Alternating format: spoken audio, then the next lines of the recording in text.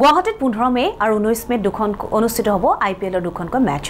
ৰাজস্থান ৰয়েলছৰ home ground হিচাপে বৰ্ষাপাৰাত অনুষ্ঠিত হ'ব দুয়োখন খেল। পোন্ধৰ মে'ত পঞ্জাৱ কিংছ আৰু ঊনৈছ মে'ত কলকাতা নাইট ৰাইডাৰ্ছৰ বিৰুদ্ধে খেলিব ৰাজস্থান ৰয়েলছে। দুয়োখন খেলক লৈ আশাবাদী ৰাজস্থান ৰয়েলছ। শেহতীয়াকৈ তিনিখন মেচত পৰাস্ত হোৱাৰ পিছত কেৱল জয়ৰ লক্ষ্যৰে গুৱাহাটীত অন্তিম দুয়োখন মেচ খেলিব ৰাজস্থান ৰয়েলছে।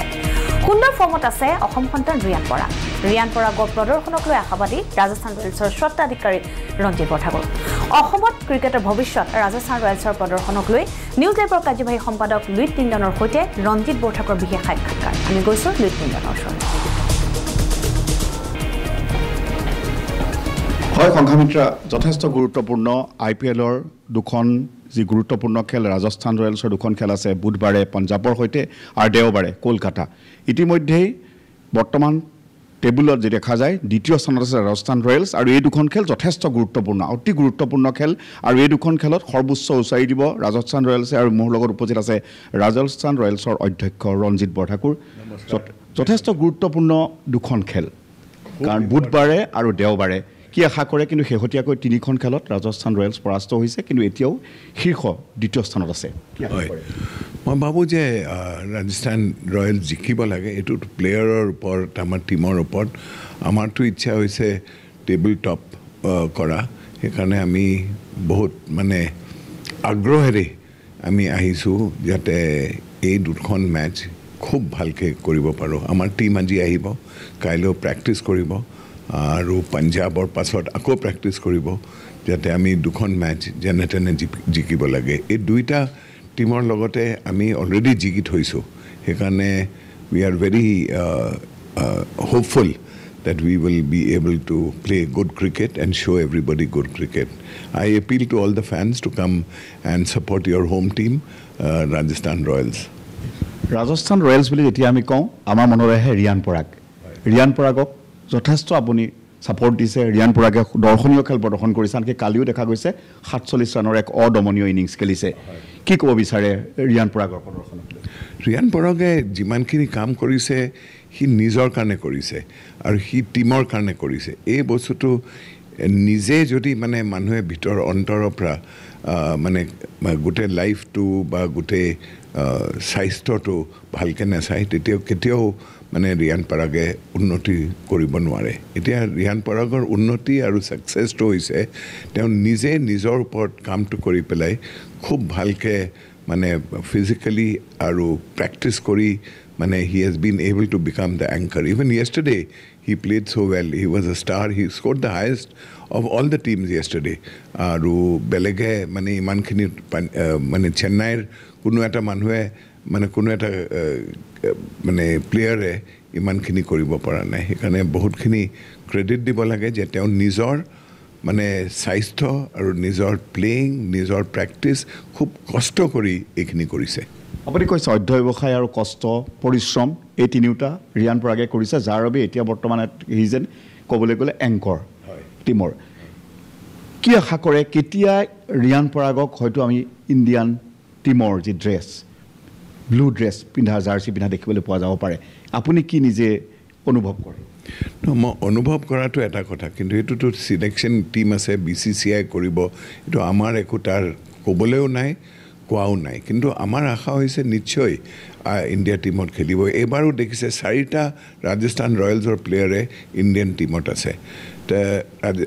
অট'মেটিকলি ৰিয়ানে যিমানখিনি ভাল কৰিছে আমি আশা কৰোঁ খুব সোনকালেই সি মানে he will don the Indian flag and Indian blue dress thank you নিশ্চয় সেইটো যথেষ্ট গৌৰৱৰ কথা। অসমৰ আৰু বহুত প্লেয়াৰ আছে। দেখা গৈছে বহুত বাৰ্ডিং প্লেয়াৰ্ছ আই পি এল এতিয়া গুৱাহাটীলৈ আহিলে আপোনালোকৰ প্ৰচেষ্টাত।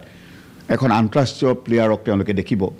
অসমৰ আৰু কোনোবা প্লেয়াৰক পৰৱৰ্তী ৰাজস্থান ৰয়েলছত আমি দেখিবলৈ পাম পোৱা নেকি মই আমি ভাবোঁ যে চিলেকশ্যন প্ৰচেছ আছে। এইটো অকশ্যন প্ৰচেছ আছে। আমি বুলি আমি লৈ পেলাই মানে যে আমি এই বস্তুটো এটা প্লেয়াৰ ইয়াত পাম তাৰপিছত আমি ল'ম সেই তেনেকুৱা নহয় অকশ্যনত যাবলৈ।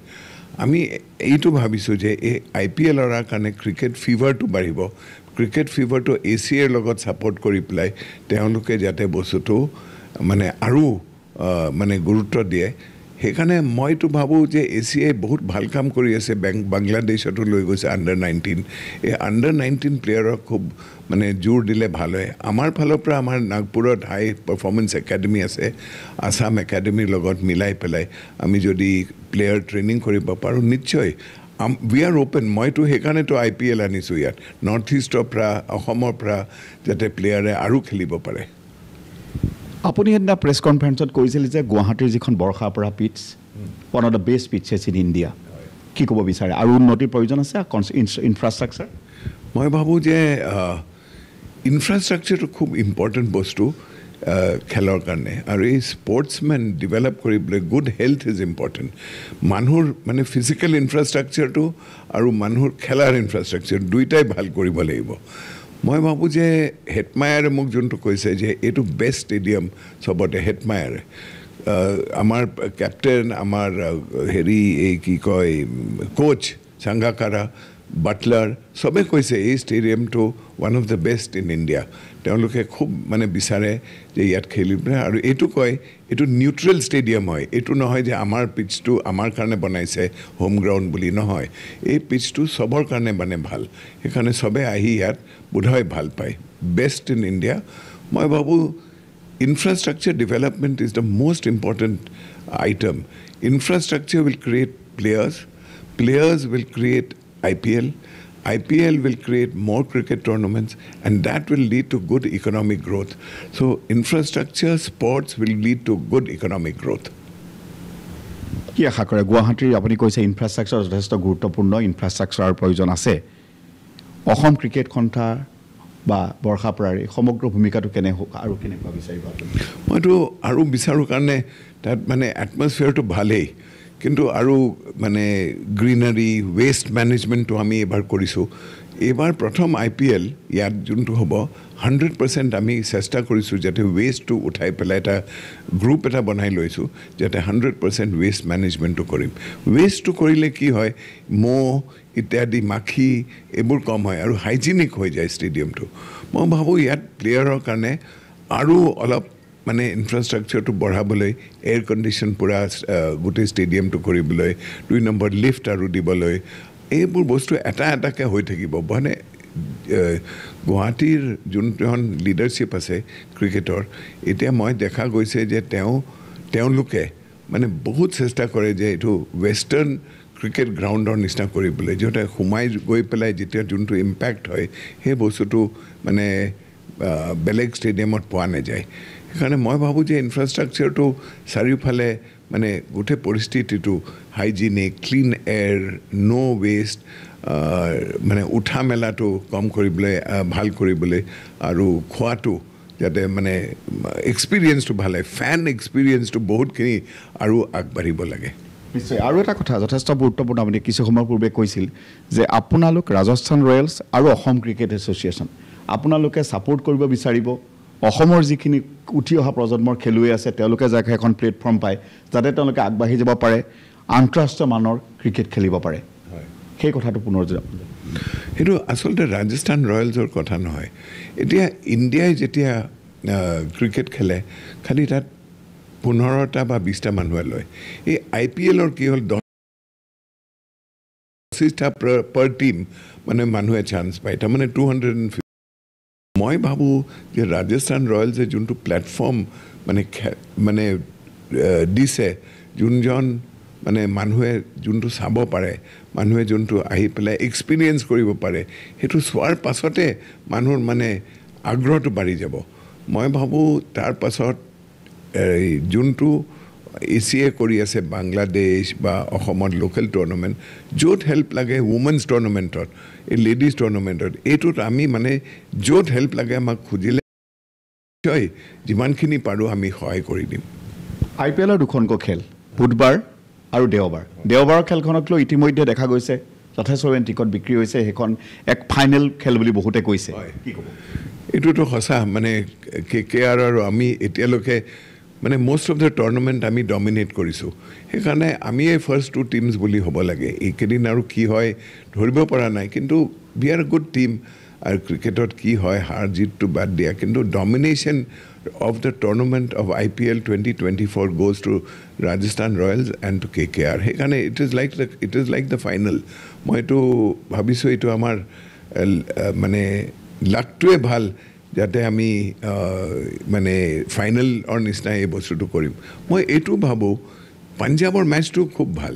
পাঞ্জাৱৰ মেটচটো যদি মানুহ মানে ক্ৰিকেটত ইণ্টাৰেষ্টেড তেওঁলোকে আহি ৰাজস্থান ৰয়েলছক ছাপৰ্ট কৰাটো ইম্পৰ্টেণ্ট কিন্তু ক্ৰিকেটক ছাপৰ্ট কৰাটো ইম্পৰ্টেণ্ট সেইকাৰণে এই ষ্টেডিয়ামত যাতে ফুল হৈ যায় মই এইটো ভাবোঁ মানে চবৰ মানে দৃশ্যটো ভাল হ'ব আৰু এক্সপিৰিয়েঞ্চটো মানে খুব ভাল হ'ব। আমাৰ অলৰেডি প্ৰায় টিকেট মানে ফাৰ্ষ্ট মেটচৰ কাৰণেও নাইকিয়া হৈ গ'ল। ছেভেন এইট থাউজেণ্ডমান টিকেটে বাকী আছে মই জনামতে সেইকাৰণে পাঞ্জাৱ আৰু কেলকাতা মেটচটো মানে চোৱাটো আমাৰ লাকি হয় আই পি এলৰ কাৰণে।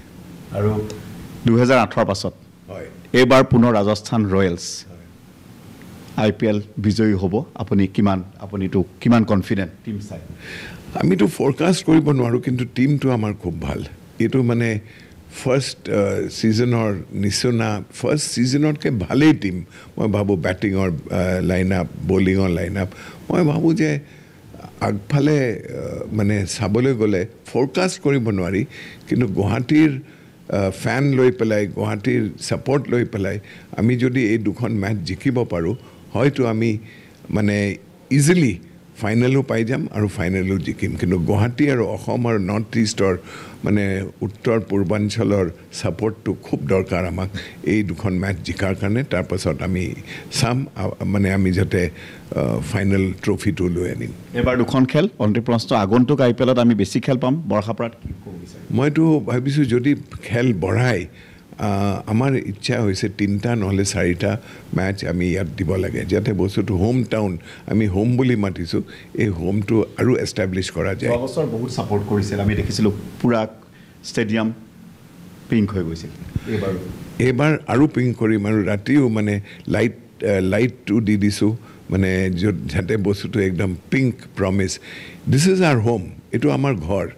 আমাৰ ঘৰত আমাৰ আমি ঘৰলৈ ঘূৰি আহিছোঁ। আমি এই ঘৰত যদি ইয়াৰ ঘৰৰ পৰা যদি আমি বিজয় হৈ যাব পাৰোঁ আমাৰ কাৰণে বহুত ভাল। সেইকাৰণে গোটেইটো পিংক প্ৰমিছ বুলি কৈছোঁ। এই পিংক প্ৰমিছটো আমি মানে খুব মানে বিশ্বাস কৰোঁ আৰু ভাবোঁ যে অসম অসম আৰু নৰ্থ ইষ্টৰ মানুহে খুব আমাক ছাপৰ্ট কৰিব। থেংক ইউ সেয়া আছিল ৰাজস্থান ৰয়েলছৰ অধ্যক্ষ ৰঞ্জিত বৰঠাকুৰ। ৰিয়ান পৰাগৰ কথা ইতিমধ্যে উল্লেখ কৰিছে। ৰিয়ান পৰাগে দৰ্শনীয় খেল প্ৰদৰ্শন কৰিছে। নিজৰ অধ্যৱসায়ৰ বলত গুৱাহাটীৰ পিটছৰ কথা কৈছে আৰু আটাইতকৈ পিংক প্ৰমিছ বুধবাৰ আৰু দেওবাৰৰ খেল দুখন। বুধবাৰৰ খেলখন পঞ্জাৱৰ লগত কিন্তু দৰ্শক খেল চাবলৈ আহক। ক্ৰিকেট খেল চাওক আৰু দেওবাৰ এক প্ৰকাৰ ফাইনেল বুলি কৈছে। আৰু এইবাৰ হয়তো দুহেজাৰ আঠৰ পিছত ৰাজস্থান ৰয়েলছে পুনৰ আই পি এলৰ খিতাপ জয় কৰিবৰ সম্ভাৱনা কাৰণ যি গতিত ৰাজস্থান ৰয়েলছৰ টীম বৰ্তমান ফৰ্মত আছে যথেষ্ট ভাল প্ৰদৰ্শন কৰিছে। গতিকে সংঘামিত্ৰে এটা কথা ক'ব লাগিব। যে বুধবাৰ আৰু দেওবাৰৰ খেলক লৈ যথেষ্ট আশাবাদী এতিয়া অসমৰ লোকসকল আৰু যথেষ্ট আশাবাদী ৰঞ্জিত বৰঠাকুৰ আৰু ৰাজস্থান ৰয়েলছৰ দল আজি আহি পাবহি। আৰু তাৰ পাছত তেওঁলোকে দেওবাৰ দেওবাৰলৈকে তেওঁলোকে ইয়াত খেল প্ৰদৰ্শন কৰিব।